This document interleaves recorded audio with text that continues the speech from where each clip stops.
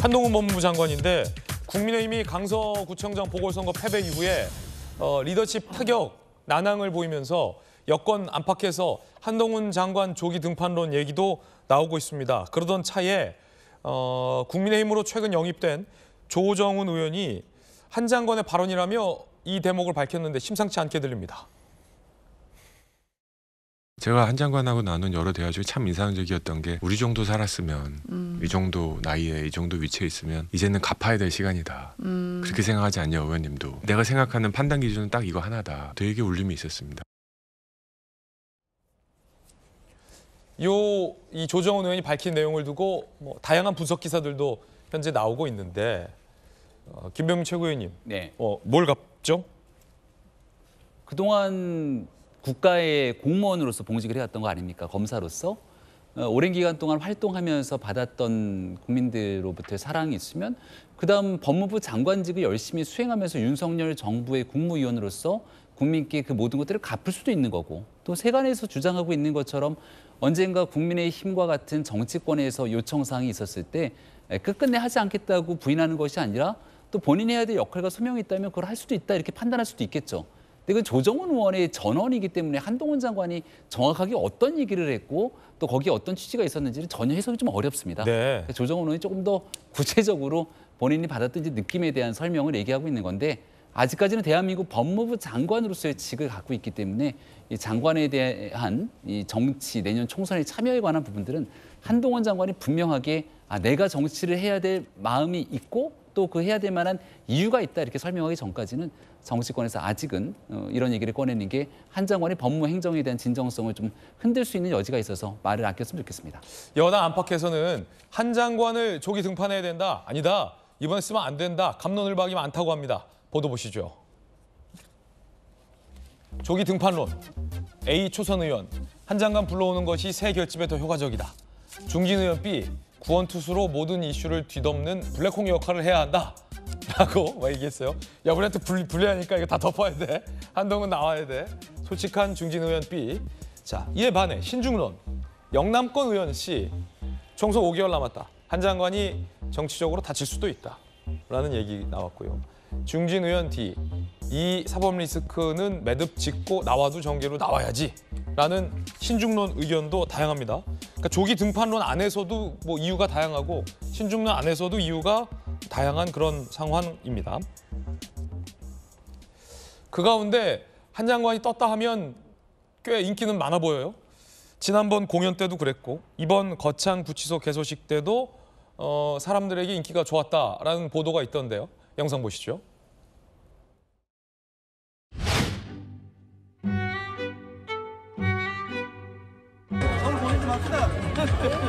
장관님은 연예인보다 더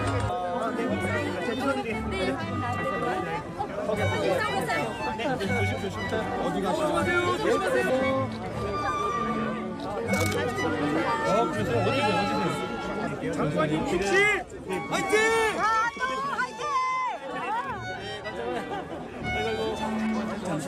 신은 없다.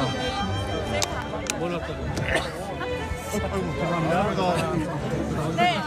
네. 친구들 내가 찍어줘. 하나, 둘, 셋. 감사합니다. 장관님 화이팅! 화이팅! 장 화이팅! 그 확실히 여야 국회의원들 중에서도 인기 있는 분은 간혹 몇몇 있긴 합니다만 한동훈 장관이 인기가 있는 것 같은데 김영주 의원님 네. 음, 조기 등판론과 신중론 사이 어디인가에 한 장관이 있어요. 네. 실제로 보면은 지금 현재 자꾸 뭐 당에서 유승민, 이준석 탈당 신당론 나오고 자체 신당론 나와서 그다음에 정말 지난번 강서 보궐선거 이후에 국민의힘이 굉장히 많은 충격을 받고 있는 건 사실인 것 같습니다. 혼란스럽고 또 김기현 대표 체제에서 혁신위를 띄운다 하더라도 혁신위원장도 정하지 못하는 위기에 빠져들고 있기 때문에 이게 장기적으로 가면 굉장히 힘들어진다라는 그런 측면에서 조기 정판을 해야 된다라는 말씀이 있을 수 있다고 봅니다. 결과적으로 그런 부분도 뭐 결과 대통령과 또 한 장관 본인의 어떤 결단 속에서 있을 수밖에 없는 일이라고 보여지고요. 또 한편으로는 그 결과적으로 다 뭐 원희룡 장관까지도 또 상당히 많은 수가 정치권으로 빠져나갔을 때이 네. 대통령실과 정부는 누가 지키냐 이런 신중론도 있을 수 있고요. 단 마지막 그 중진 의원 영남권 중진 의원이었나요? 그 말은 부적절합니다. 사법 리스크를 매듭 짓고 나와라 하는 것은 마치 법무부 장관이 무슨 사법에 대한 이재명 재판에 대한 가이드라인을 제시하는 것처럼 보아서 법사위에서도 논쟁이 되는 문- 문제거든요. 이거는 검찰총장도 아니고 법무부 장관은 사실 좀 더 정치적으로 좀 중립적인 위치에 있어야 되는데 굉장히 검찰총장 위에서 전체 재판을 진두지휘하는 것처럼 보이는 부분은 어, 발언 자체는 적절하지 않아 보입니다. 어쨌든 제일 지금 보수 차기 대권 주자 후보 1위가 월등하게 앞서가는 분이기 때문에 아마 당내에서도 지금 현재 12월까지의 여론조사의 추이, 당내의 추이, 대통령실의 어떤 그 분위기를 그 생각해 봤을 때 12월 정도에 차출될 수도 있지 않나 그렇게 보여집니다. 김영주 의원님이 만약에 이 선거를 이끌 총괄 선대본부장이나 선대위원장이라면 방금 이제 전체적으로 어떤 객관적인 논평을 아주 잘해주셨는데 만약 국민의힘의 선대위원장이라면 한동훈을 조기 등판 시키시겠습니까 이번 총선 때? 비례대표 중간 정도 두고 띄우죠. 아 무조건 띄운다. 이거 고민할 것도 없다. 예. 지금 현재 국민의힘 상황이라면 배수진을 친다는군요. 예, 예. 비례대표 왜냐하면 건. 대통령 혼자서 열심히 된다는 게 안 되고요. 음. 극복이 잘 안 되고 아마 총선에서 수도권을 이기지 못하면 국민의힘은 훨씬 더 급격하게 힘들어질 겁니다. 그럼 저는 지금 자고 우면 할 게 아니라 다음 총선에 최소한 민주당하고 거의 1대1의 수준으로의 의석은 갖고 와야만 그 다음 대통령이 실제 하고 싶은 일을 해요.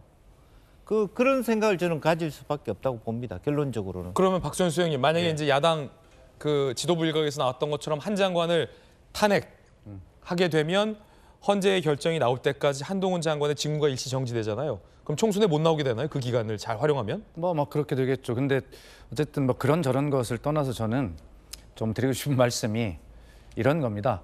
한동훈 장관이 빨리 정치했으면 좋겠어요. 예. 이제는 갚아야 될 때라고 하는 것은 본인의 정치적인 어떤 의지를 어, 피력한 것이다. 저게 사실이라면 이렇게 보고요. 기왕에 정치를 할 것 같으면 빨리 해야 된다고 봅니다. 지금 윤석열 대통령께서 앞으로 얼마나 성공한 정부를 만들지는 실지는 모르겠으나 현재까지 1년 절, 절, 절반이 지나고 이 시점에서 그렇게 성공적이라고 평가를 받을 수 없잖아요. 그건 뭐 수치가 증명하고 있는 거니까. 공정과 상식 원칙의 큰 바람을 기대를 일으켰던 그러나 정치인 출신이 아니어서 검증받을 기회가 없었죠. 정치력을.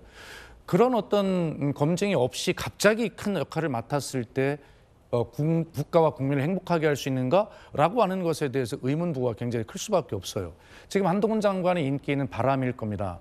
그러나 그것이 지나가는 바람이 아니라 국민 속에 머물러서 국민을 따뜻하게 하는 온기가 되려면 본인이 국민 속에 살면서 자신의 정치력도 키우고 증명하고 또 국민의 민심이 어떤 것인지를 모- 몸으로 체득하는 그런 숙련 기간, 훈련 기간이 반드시 필요하거든요. 그런 측면에서 보면 어차피 저는 한동훈 장관이 정치할 사람이라고 보고 본인도 정치 의지를 밝히고 있기 때문에 하려면 이번 총선에 저는 조기 등판해서 그러한 어, 바람으로 어떤 국민 속에 다가가는 것이 아니라 온기로 다가갈 줄 아는 그런 자신, 자신의 어떤 실력을 기르고 어, 국민들의 마음을 얻어가는 과정을 반드시 거쳐라라고 주문하고 싶어요. 예.